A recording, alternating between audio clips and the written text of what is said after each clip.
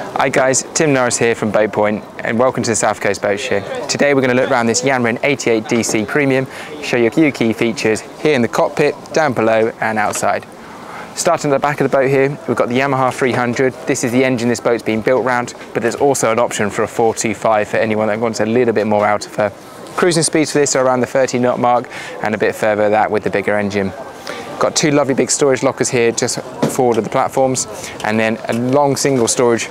This is for the cockpit enclosure. We've got a full cockpit enclosure with sides so you can use the boat for more of the year along with the heating. That's accessible by just simply lifting this aft bench up and pulling the whole system out. It's all connected on the frames ready to go. Moving forward on the boat, we've got L-shaped seating here to port, a lovely table which drops down to make a double berth and a nice bench seat here on the starboard side. Plenty of storage under this berth here and we've also got our hidden feature unique to class this class of boat. We've got two cabins and this is one of the access points to that cabin. Simply lift that up and we've got full access to get into that sleeping cabin or plenty of storage depends how you want to use it. Working further forward in the boat we've got on the port side a little galley area nice little fridge underneath with a gas hob and sink and then a nice little pop-out shelf as well for a bit of food prep there. Coming further forward again, again another nice feature of this boat, we've got three forward facing seats, proper seats for when you're actually motoring along. This means you really can get people on board, enjoy going out and actually blasting around. Helm station to starboard, twin multi-function displays showing your engine information and all your chart information you can need. As you expect, all touchscreen.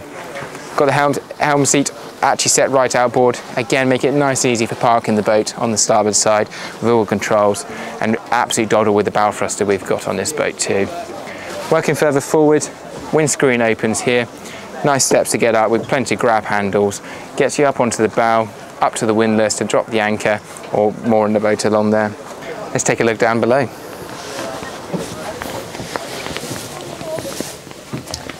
Setting myself up here on this double berth, it's incredibly comfortable and spacious. We've got nice mood lighting throughout and nice fabrics used on the berth here, so very comfy. Nice little port side bench there, storage locker as well, and plenty of storage under the berth itself, as you'd expect.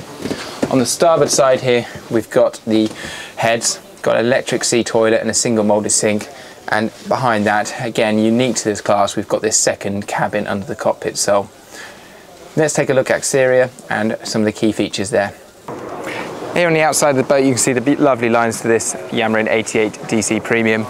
She's got a real performance hull, nice deep V at the front, working out to a flatter stern section to give her performance. Comfortable cruising speed at the high 20s, low 30s depending on engine option and you can go above that with the bigger engine. As you can see from the bow profile, you can see why the cabin is so big. It's a nice wide-ish bow profile um, to the width of the boat there, so making it very comfortable to use. Thank you for looking around the 88 DC Premium with us today from Yamarin.